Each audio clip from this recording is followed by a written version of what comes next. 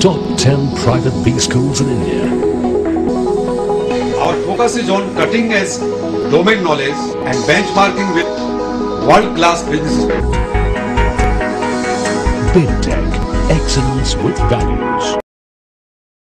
And uh, you always wanted a chance to sort of cut classes, you know, and see if you could get, you know, out of somewhere for a while. But the, you know, Bright Smiles find and inculcate great oral hygiene into our lives. So Mr. Rabbit was a favorite. They make a child understand the importance of something. You know, they make you understand that it's not just your parents, you know, trying to discipline you in many other ways. So it was really fantastic, and it really encouraged schools in India to take forward this initiative. Really easy to incorporate into their school curriculum. I want to say that that's what we do. Obviously, that's our, our expertise in terms of oral health education. But I will also say that parents like you can also play a huge role in making sure that their children have healthy habits. For sure. I mean, I have a two and a half, almost three-year-old daughter, Saira, and uh, you know, ever since she cut her first tooth, brushing in our house has been a priority. You know, there are just some things in life are ingrained in your psyche. You know, you get on a plane, you buckle your seatbelt. You know, you get into the car, you put it on. So it's as simple as that. You wake up in the morning, you brush your teeth. You know, we all do it because I think it's just been as a parent. I mean, my parents, I know, you know, inculcated that in me right from the start.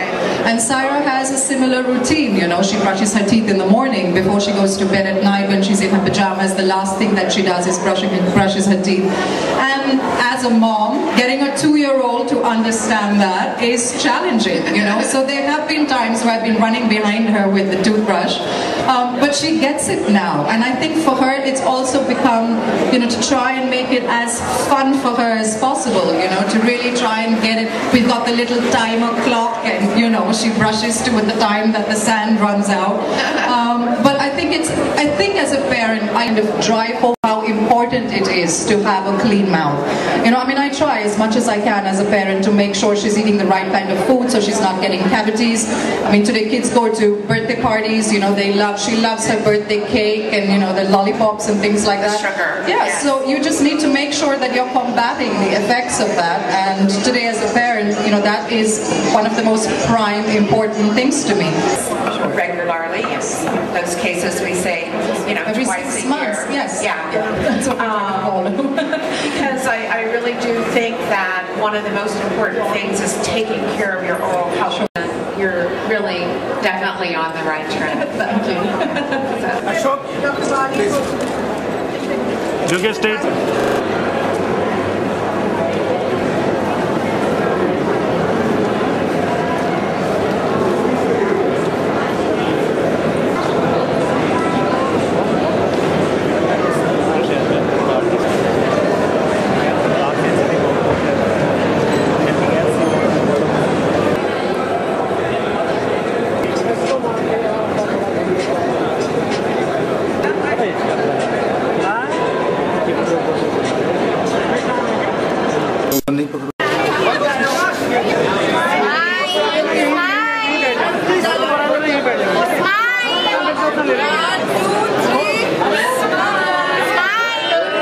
Say cheese!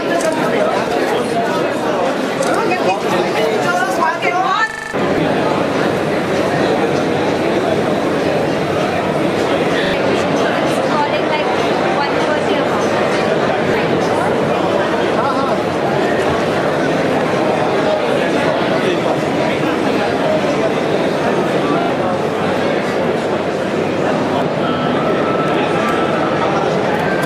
Uh, the mo- models, uh, we have to change the model if you want to change the uh, wavelength. Uh, at least 800 children while we're here.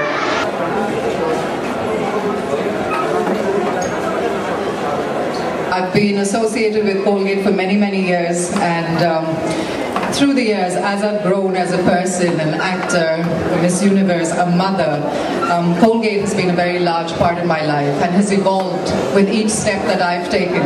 And I'm extremely happy to be here today to talk about this really wonderful initiative, Dr. I've been listening.